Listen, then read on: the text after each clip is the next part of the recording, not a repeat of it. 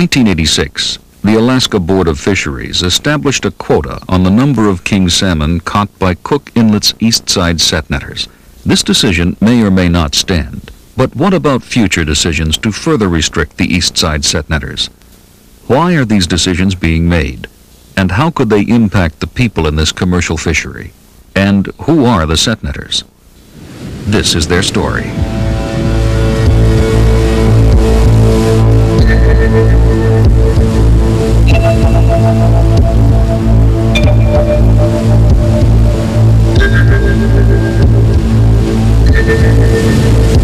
It's a challenge at times.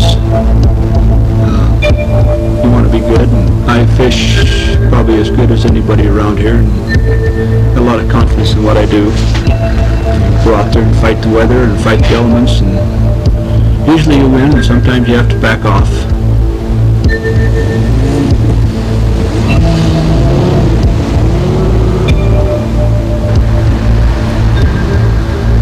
there seems to be a movement afoot nowadays to um, close this type of fishery out and uh, give the fish to the sportsman. and I, I'm having a hard time with that. I don't know, I, I just don't feel like that it's, that uh, it's not the American way. We have a way of life here that we've worked for, and uh, we've built it up. And uh, I suppose it would be likened to the farmer's plight. You know, they've had their farms for generations in their family, and to all of a sudden be faced with losing that is pretty hard to swallow. For over a hundred years, they have fought the sea. For generations, they have fought the weather. It's a legacy rich in tradition and strong in conviction. They are the east side set netters of Cook Inlet, and today they are facing perhaps their greatest fight. And for many of them, this could be the last harvest.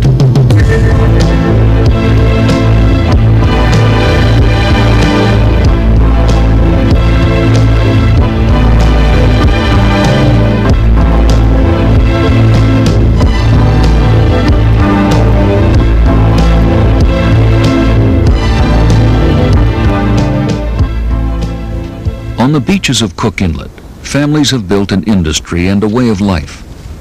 They're called set netters. Set netters are commercial fishermen who set their nets near the beaches.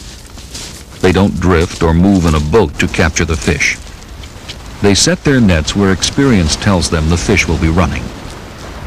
Up and down the beach, each set netter has evolved his or her own way of fishing, depending on the terrain. Some sites rely heavily on a beach net that is strung from the high tide line out to a buoy near low tide, while others depend more on offshore sets, some as far out as a mile and a half. The nets are strung between buoys from a small skiff. This can be quite a challenge in the powerful current of Cook Inlet, which has some of the highest tides in the world. Usually the nets are picked or the fish are removed right before slack tide, when the current is low but still strong enough to keep the fish from falling out of the nets. The high and low tides come every six hours, leaving very little time for sleep. Maybe a couple of hours at night and a short nap during the day. Between tides, there's always a lot to do. Nets must be mended, gear cleaned and repaired, and the fish taken to the processor. All in preparation for the next tide, which is now just a couple of hours away. This definitely is not a job for someone who must have their eight hours of sleep every day.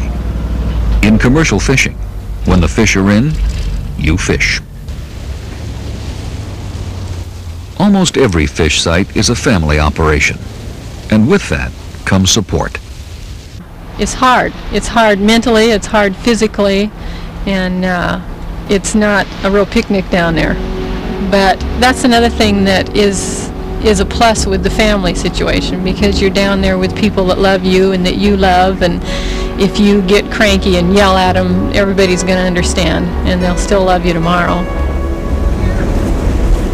I first looked over this beach here June of 1961 and we have been here ever since. I've never been sorry from the day I got here. The kids were all pretty young when they first started. Uh, we all just kind of grew up every summer here on the fish site together. And as the kids got older and uh, got into college, they all worked their way through college right here. They made their college tuition and uh, a lot of their friends came with them. When I go down to this beach in the morning to fish, I have the little grandkids, the middle grandkids, and the older grandkids. All three generations are down there working together, pulling together, fishing together. I think there's very few people that ever have this privilege nowadays. We used to in the old days in the farms and whatnot, but nowadays we don't have that privilege. I have two sisters, and all of us went to the same college. And uh, when we met the men we felt were our prospective husbands, although this wasn't planned, it wasn't premeditated, it just worked out that all of the guys spent a summer here on the beach, working on the beach, before we were married, kind of like a proving ground. The three girls went off to college, and uh, while they were there, they uh, met these young fellows that were working their way through college, and uh, they called up and they said, Dad, there's a nice looking fellow over here that uh, kind of like to work with us this summer. I have often wondered what would have happened if one of them had not liked fishing, hadn't enjoyed fishing. Say if, if my husband just hated fishing and didn't want to be involved in it at all, what would I have done? It was that important to me. Well, with three daughters and three summers, I ended up with three son-in-laws. One of those son-in-laws is also a songwriter. I wish, I wish that I could catch a fish.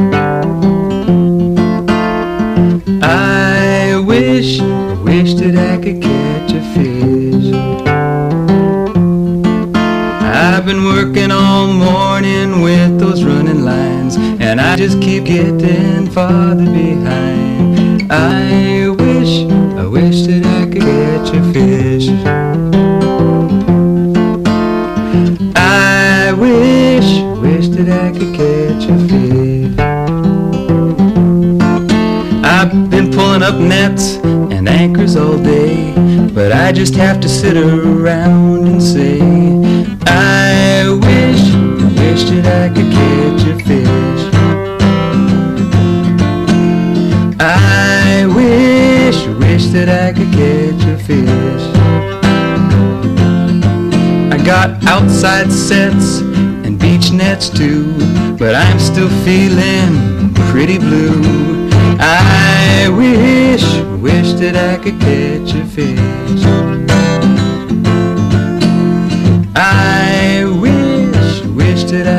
Catch a fish. Some tides bring no fish. Some tides bring a bounty. I wish I could catch a fish, just one, even if it's just a little hooligan. Up until the peak of the run hits, picking is slim. A fisherman can make or break his season in a matter of days, or in a few short hours. I wish, wish that I could catch a There are fishermen, and then there are fishermen. And the guys that are fishermen are gamblers. There's no other way to put it other than they are gamblers because it narrows down to just a few hours and a few days that we have a chance to get at those fish.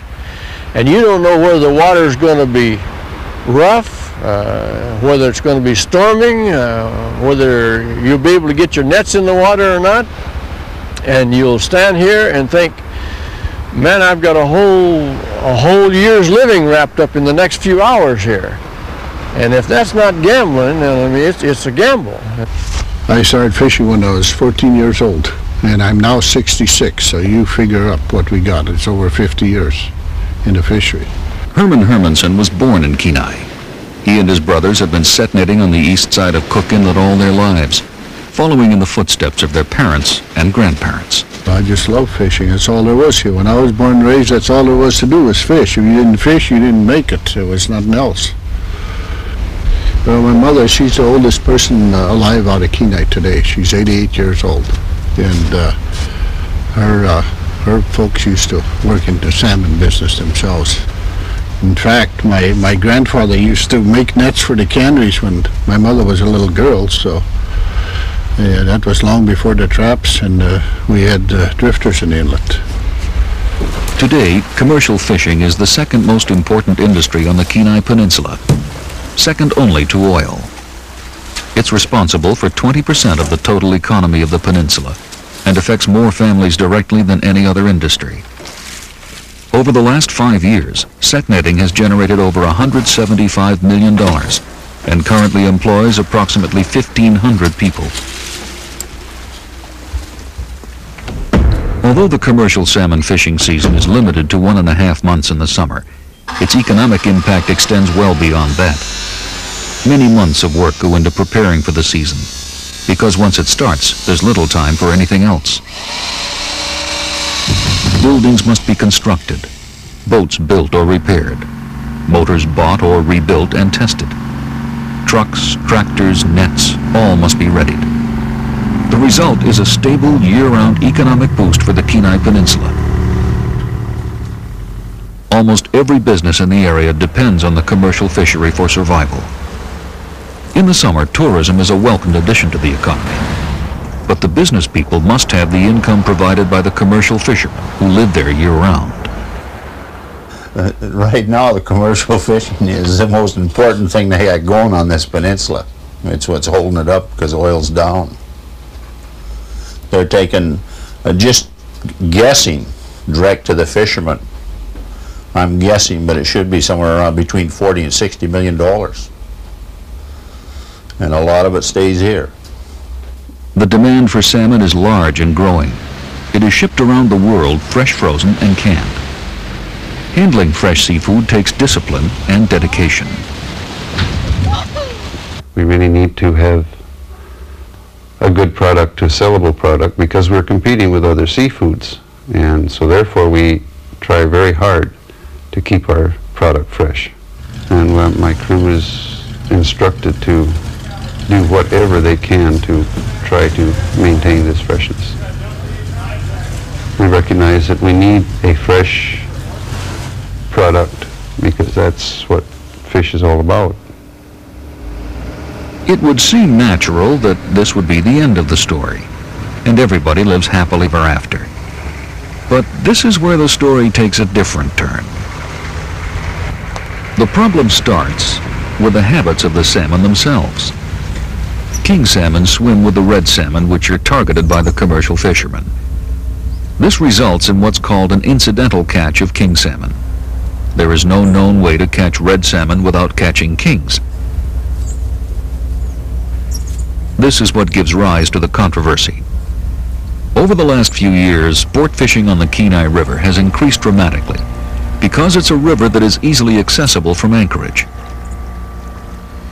When the kings are in the river, the competition is stiff. Separated by only a few feet, boat after boat drifts through the productive fishing holes trying to hook a trophy king salmon. Since guiding has become a business on the Kenai River, a dispute has brewed over who should have access to the king salmon. In 1977, the commercial fishermen agreed not to fish until around July 1st in order to allow the first run of Kenai kings through. They also agreed to stop fishing in the middle of August to increase the number of silver salmon available to the sport fishermen. This worked for the commercial fishermen because it meant they didn't miss the peak of the red salmon run. In 1978, these commercial fishermen voted to voluntarily assess themselves 2% of their gross to be put towards aquaculture. Since then, nearly $5 million has been raised. This money has been used for habitat enhancement programs and fish hatcheries that have benefited sport fishermen and commercial fishermen alike. This is Crooked Creek Hatchery in Kasilof. Here, king salmon, red salmon, coho salmon, and steelhead are raised and then released in streams throughout the Kenai Peninsula.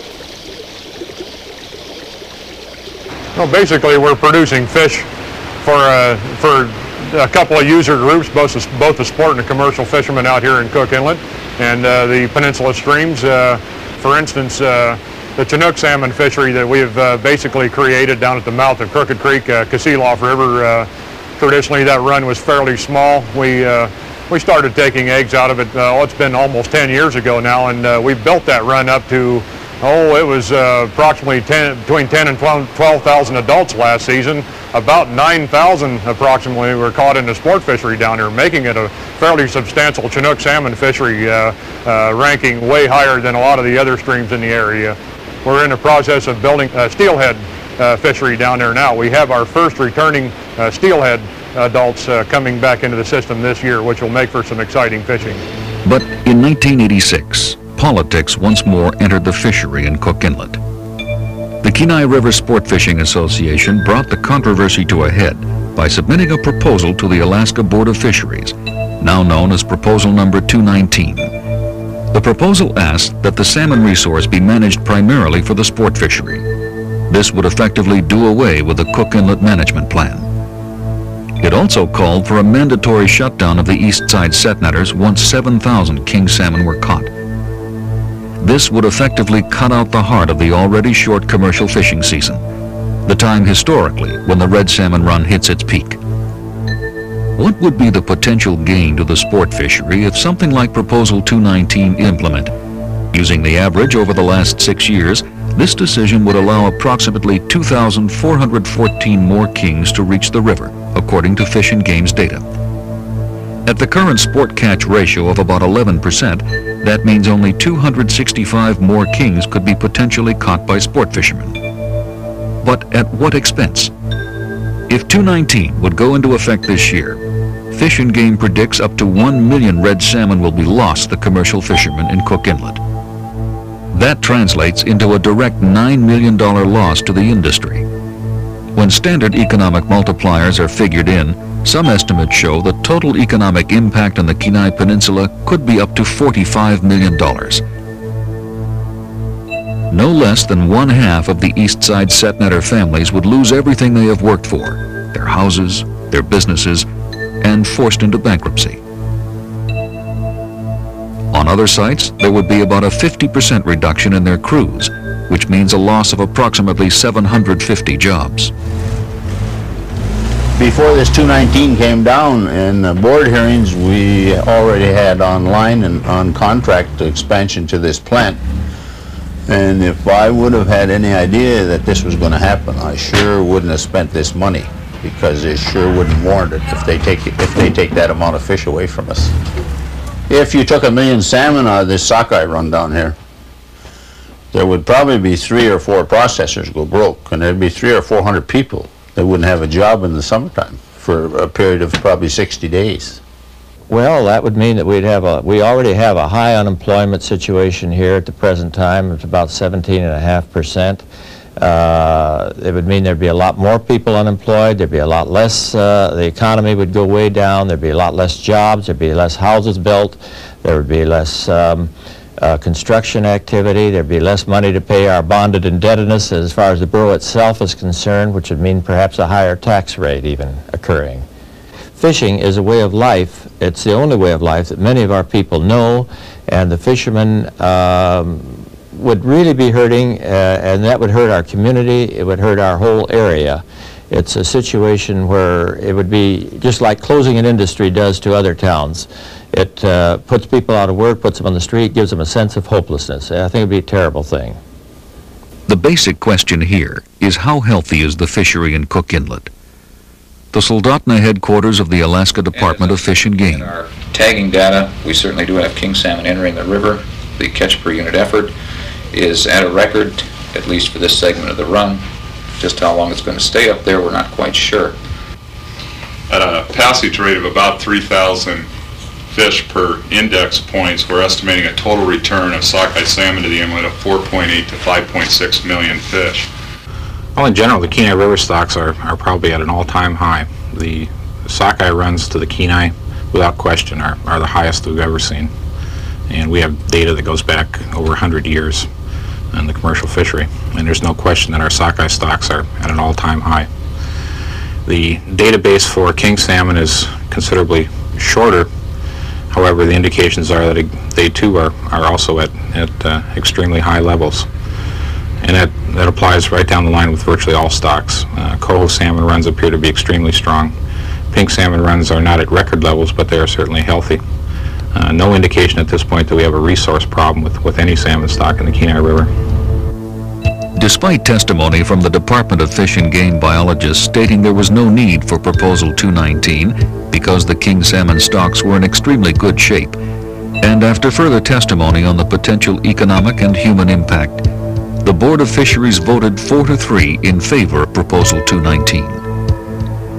A few days later, after rumors of scandal and trading votes couldn't be defused, the 1986-87 Board of Fisheries ceased its work without finishing, and as one Anchorage newspaper put it, adjourned in turmoil. So with the salmon resource being healthier than ever, and the board process apparently not working properly, it becomes easier to understand the set netter's fear and frustration. And I'm sure that there'll be plenty of sport fish for everybody. And we don't have no no quarrels with the sport fishermen. Like I say, everybody is a potential sportsman as far as I'm concerned, so. Um, I, I have to weigh it against losing uh, a whole generation of you know what we've built here and, and not having what I experienced for myself for my children. And so I, you know, it makes me sad and I don't really know how to fight it uh, because I don't feel that most people understand the uh, the question here. It's not it's not just that we're we're not down here playing. We're not down here recreating. Uh, to a lot of it, it's it's our sole income. And um, A man came here one time with money in hand and wanted to buy my fish site. And it was it was tempting because it was a good price and I could retire myself. But for me to take the money and retire, that put all my grandkids out of work, shall we say. All these uh, children out of work and whatnot. And, and to me, it was not worth it. Money could not buy this way of life. And so I said to the man, no, I like my way of life, and I'm going to stay with it, so it's no sale. Well, my dad, he come over from Norway in 1923 to Washington. In 1924, he came up and was working on the fish traps for Libby McNeill Libby, which is now the Columbia Ward Cannery in Kenai. 1939, he started set netting here. And set netted here from 39 until passed away in 1978. So he got uh, quite a few years in here. I'm sure the reason he liked this place because it had the nicest place to camp on the whole beach, and that was more important uh, in those days than fishing. It had running water and got protected, and they got a little cove gully in here, so you're protected from the wind, and uh, I'm sure that's why he liked this spot, and that's why he, he ended up buying. I think at the time he bought it for $200, which was a lot of money in those days. He did well most of the years, raised five kids here, and cooked a lot of pancakes and mostly good times. I think my dad set an example of honesty. He wouldn't cheat anybody. If anybody's going to get cheated, cheat himself. Always willing to help a neighbor. He always had new fishermen coming around and, and ask uh, how something was done, and he would never hesitate and always willing to help.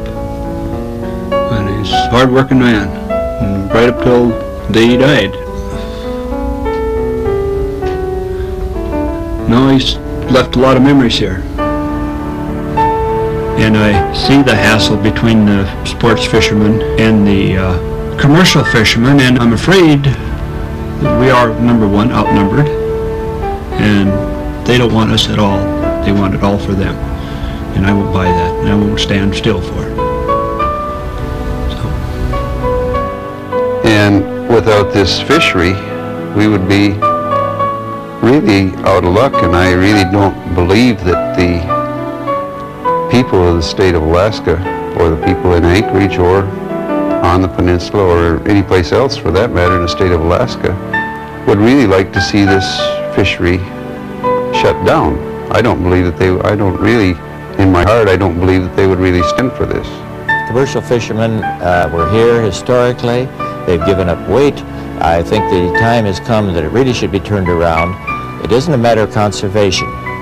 We still have, we are having bigger runs than we've ever had. There's more fish than there's ever been. And I think it is not time to be cutting out the commercial fishing. Well, if there were no commercial fishing, if we were shut down tomorrow, outside of the fact that it would affect us monetarily, um, it would also affect us, uh, our family. We wouldn't have that thing that draws us together every year. I'm not talking about just my husband and children, but my sisters, my brother, his wife, their children.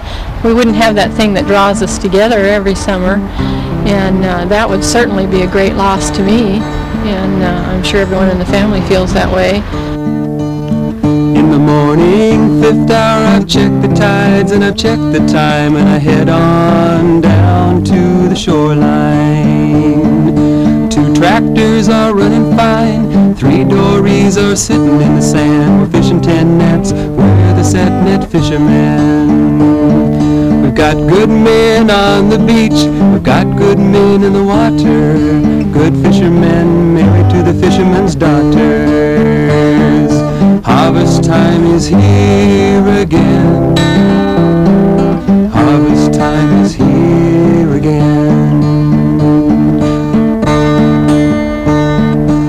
The water so beautiful, see the mountains across the sea. There is no other place I'd rather be. A fisherman's hands are leather-like, his mind is keen and his heart is strong. If it's a good year, that's nice, but if not, he'll get along. Winter season is such a long time, but next year we'll do it again, doing the things we learned from when the. Harvest time is here again. Harvest time is here and gone. In the summer of 1986, one average red salmon was worth $9, about the same as a barrel of oil. Proposal 219 may or may not stand. But what new restrictions will the future bring? It's time we acknowledge the importance of commercial fishing in Alaska and stand beside the men and women who have built this most valuable renewable resource industry. They need our help and support to prevent this from being their last harvest.